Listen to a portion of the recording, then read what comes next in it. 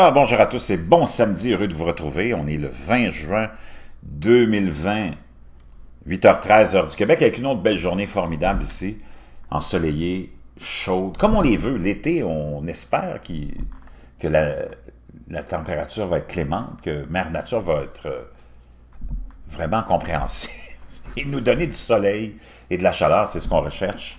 Parsemé de pluie, hein. naturellement, on a besoin de pluie aussi, mais on a eu, euh, on a été programmé depuis quelques années à penser que les belles journées d'été, les périodes chaudes qui s'accumulent, hein, les, journées chaudes qui s'accumulent euh, successivement, on a été programmé à penser que c'est anormal. Depuis quand on doit imaginer que l'été doit être nul, froid, pluvieux, nuageux? Non. Parce que les médias nous ont habitués hein, à cette programmation-là. On veut vous convaincre qu'il y a quelque chose qui est pas normal parce qu'il fait beau et chaud l'été. C'est complètement aberrant. Il fait beau et chaud l'été depuis la création de l'univers. Il y a des pays où il fait beau et chaud toute l'année. Depuis des milliers d'années. Moi, j'ai des amis pakistanais, des amis indiens. Euh, puis, ces coins de pays-là, je peux te dire une chose, il fait 40 degrés 12 mois par année. Et ce même réseau de médias traditionnels dans nos pays respectifs qui essayent de nous programmer à une anormalité quand il fait beau et chaud l'été et nous démoniser ça, ben l'hiver venu a plein d'émissions, de chroniques voyage, où on est là à te convaincre que tu dois absolument quitter le froid pour aller retrouver, dépenser des milliers de dollars pour aller retrouver le climat qu'on démonisait en été. C'est assez aberrant quand même. Mais qu'est-ce que tu veux? Ça fait partie des contradictions de la vie. Pendant ce temps-là, il y a une chose qui est vraiment réelle, puis qui n'est pas une contradiction, c'est les changements climatiques. Et les changements climatiques sont là depuis toujours. Et ça, c'est un, ça le dit, c'est cyclique. Les changements sont cycliques, donc ils reviennent, ils partent, ils reviennent, ils se transforment par cycle. On ne sait jamais combien de temps ça va durer, mais on a une idée moyenne à peu près. Et là, on est dans un changement de cycle. J'ai 58 ans, je ne sais pas quel âge vous avez, mais on pourrait dire que depuis les 40, ça a changé depuis à peu près, euh, ça a commencé à changer depuis à peu près une dizaine d'années, mais les 40, les 40 années précédentes, on était dans un modèle, en tout cas moi j'ai grandi dans un modèle assez stable.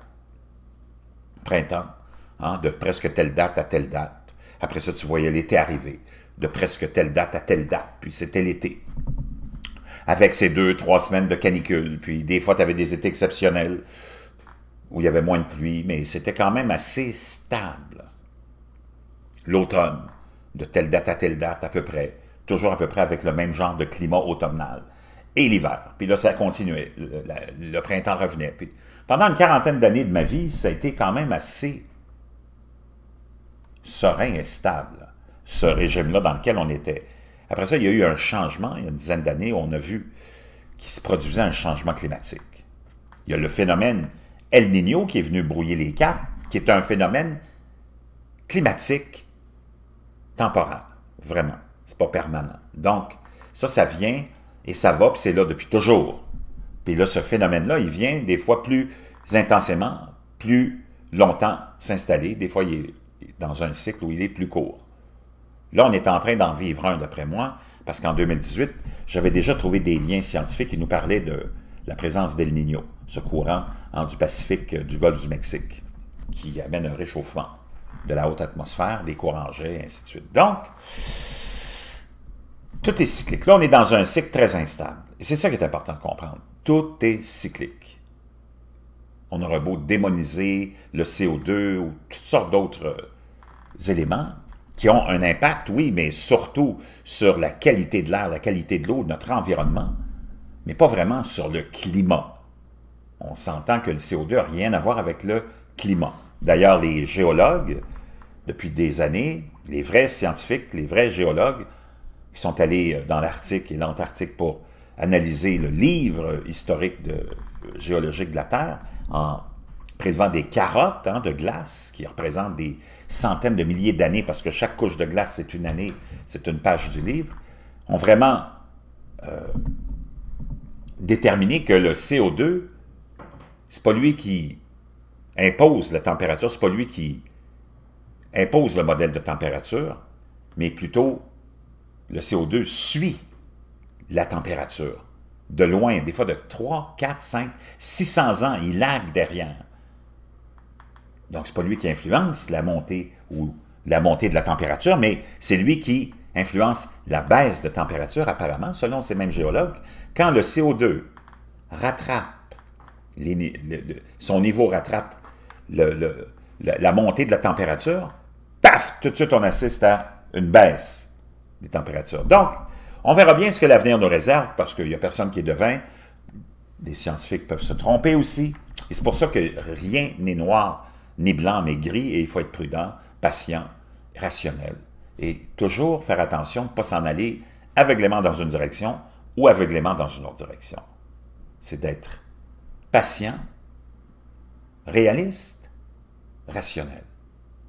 Maintenant, on le sait, une, évidence, les changements climatiques se sont euh, produits.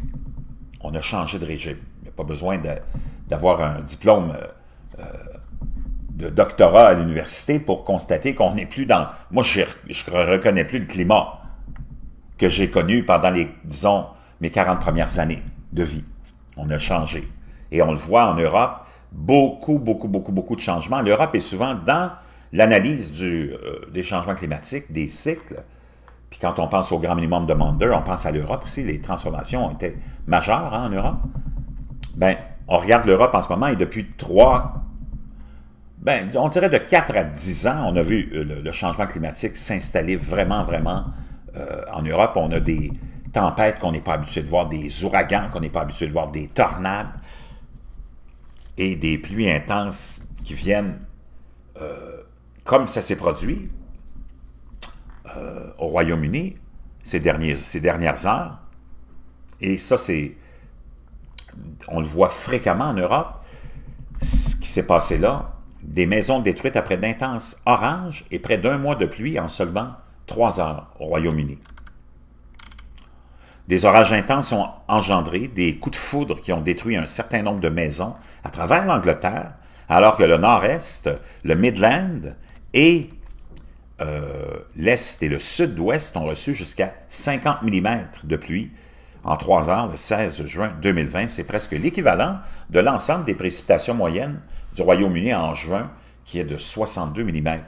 Un certain nombre de maisons euh, à Merseyside, Birmingham et Sheffield ont été photographiées dans la fumée après avoir été frappées par la foudre une maison de Barnstone, Barnstone Road a appelé les services d'urgence lorsque euh, Merseyside était pilonné par de fortes pluies et du tonnerre. Donc les gens étaient en panique. Il y a des maisons qui ont été euh, frappées et qui ont commencé à prendre feu. Il n'était pas euh, encore clair si quelqu'un comme à l'intérieur, de la maison, euh, était à l'intérieur de la maison quand une fourchette de foudre a frappé cette maison-là, provoquant un incendie. Les autorités ont fermé la route dans les deux sens pendant que les pompiers travaillaient pour contenir l'incendie et protéger la maison. Le toit a subi d'importants dommages ainsi qu'un garage attenant. Aucune blessure n'a été signalée. Une autre propriété résidentielle est partie en fumée. Dans le West Midlands, des pompiers ont été convoqués pardon, à New Liso, ou à Sutton Coldfield, Birmingham, après que le propriétaire a signalé que son téléviseur avait sauté. Donc, on voit, euh, il y a beaucoup, beaucoup d'images, je vous laisserai le lien dans la boîte de description. Beaucoup, beaucoup, beaucoup, beaucoup, beaucoup de, euh, de vidéos là-dessus. Ça, c'est sans compter, je vous ai parlé euh, hier de la neige qui est tombée euh, ces derniers jours en quantité très élevée dans le Montana, l'Idaho. Et beaucoup, beaucoup, beaucoup de choses. Je reviendrai sur plein, plein d'événements, dont, encore une fois, et ça commence vraiment à être là aussi une habitude, près d'un million de porcs abattus dans le cadre de la pire épidémie de peste porcine de tous les temps au Nigeria, comme s'il n'y en avait pas assez et plein d'autres événements. Je vais vous revenir là-dessus, mais je voulais euh, vraiment qu'on prenne le temps de réaliser que tout est cyclique. On ne peut pas y faire grand-chose. Il faut rester calme, serein, puis on va passer à travers. Tous ceux qui étaient là avant nous autres sont passés à travers. Mais il y a beaucoup de gens qui vont souffrir. C'est des centaines de millions d'humains qui sont impactés par ça. Mais on ne peut rien, rien y faire. Ce pas des lois, des règlements, des taxes puis des impôts qui vont arrêter les tempêtes de tempêter. Je vous reviens.